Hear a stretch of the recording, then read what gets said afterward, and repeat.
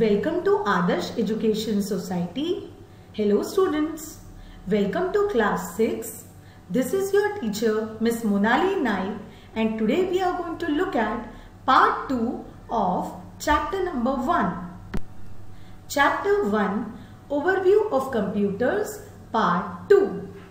Students, as we have already completed part 1 of the chapter, now let us start with the part 2. In this part, we are going to look at some key points. They are applications of computer, hardware, software and computer language. Now, let us look at them one by one. Applications of computer. Students, as you all know, computer is a versatile machine that does many kinds of jobs. In this topic, we are going to look at the different uses of computer. First, education. Computers are widely used in the area of education. The computer is providing help to the students as well as the teachers. Computer can also be programmed to deliver educational content to many students. Next is healthcare. Computers are playing an important role in the growth and improvement of healthcare.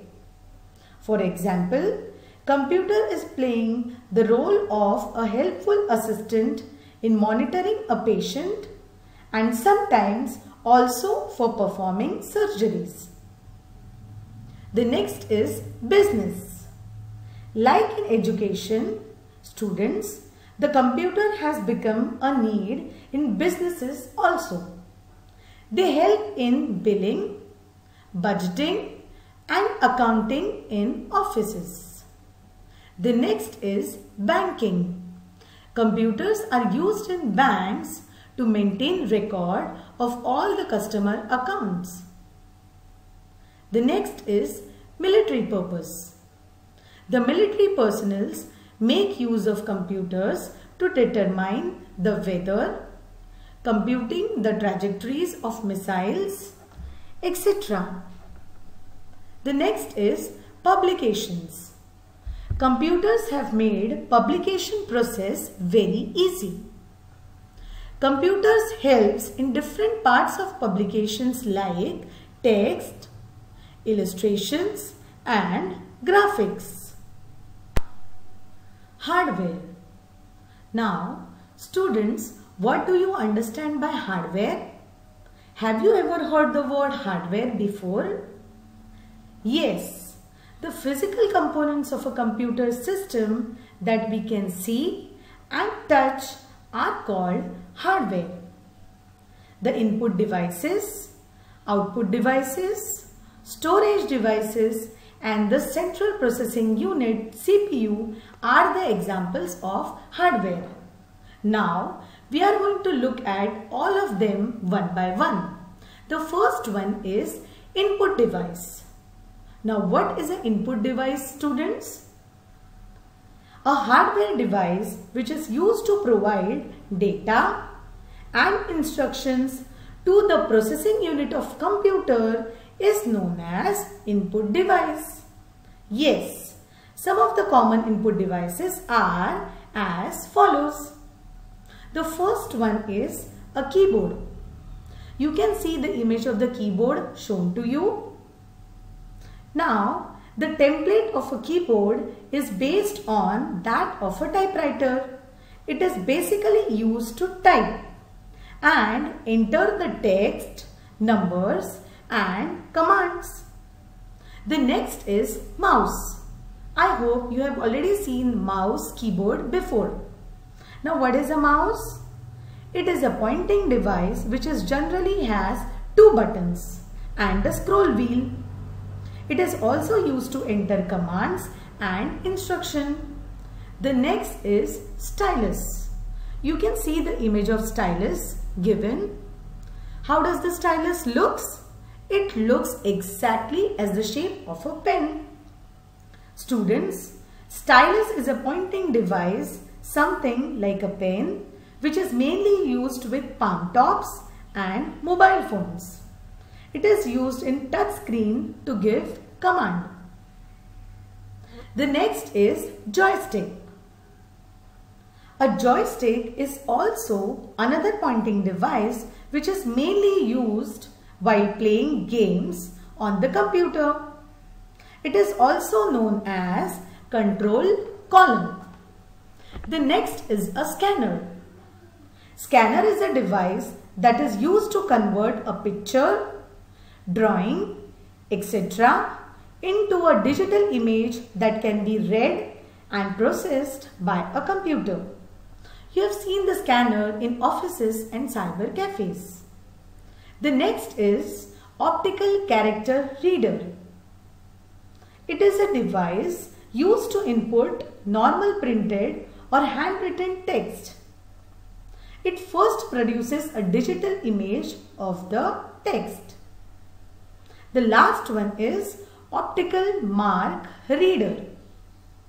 It is a device capable of reading printed forms used for objective type exams.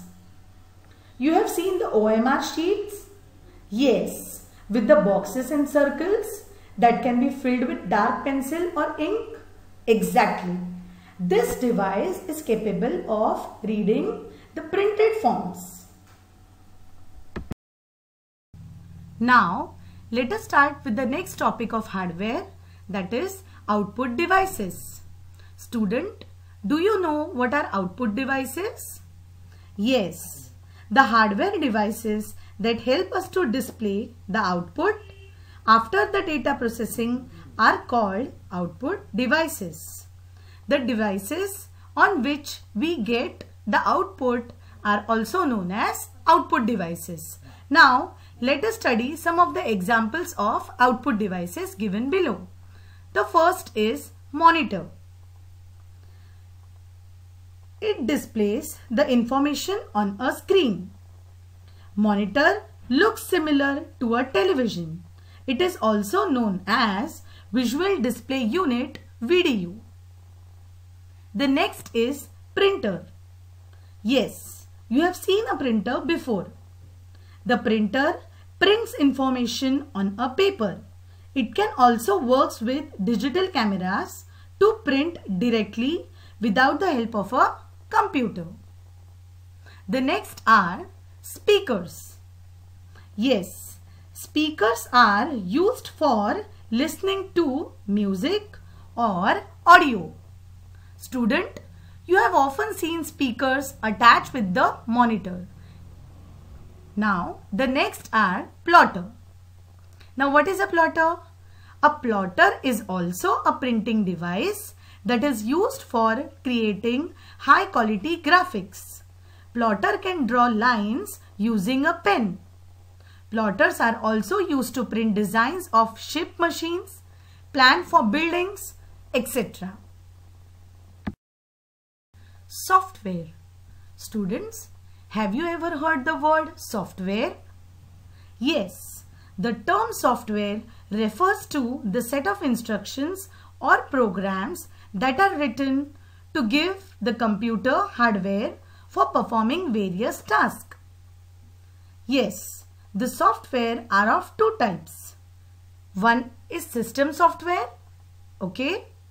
Now system software is designed to operate, control and execute various applications on the computer.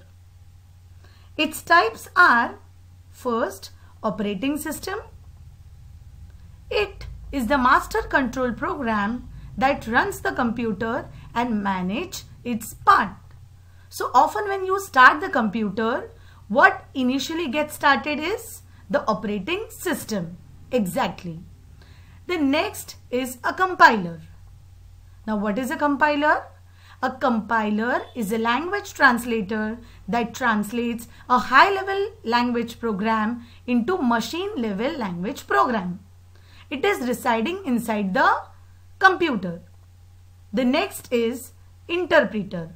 Now interpreter translates one statement at a time of a high level program into machine program. The next is an assembler. Assembler translates an assembly language program into machine language program. Got it students? Types of system software. Now the next is application software. Now what are application software? Application software are designed to help the user to perform certain specific tasks. Some common types of application software are MS Word, Paint, etc. Computer languages. Now student, what is a computer language? A language that is used to write and develop software programs for the computer is known as a programming language or a computer language. That is, a computer language is used often to write different programs and develop different different softwares. Now computer language are classified into two types. One machine language and next assembly language. So let us see what is a machine language. Now this that is machine language is a language that the computer only understands and can execute directly. Each instruction of the machine language is written in the form of zeros and ones. The next is assembly language. This language is used for the microprocessors and other programmable devices that often are connected with the computers. Now assembly language uses mnemonic codes. What are mnemonic codes? Mnemonic code is a letter combination which tells the computer where the data is and what to do with it. So what is basically a mnemonic code? Mnemonic code is a letter combination. Okay. Now the next language is high level language. Now what is a high level language students? A high level language enables development of a program in simple programming context. Basically, high level language is a simple English level language program. Now, this is totally independent of a hardware. Examples of high level languages are Basic, C, C++. Got it? Now here we end the second part of the chapter 1. Thank you.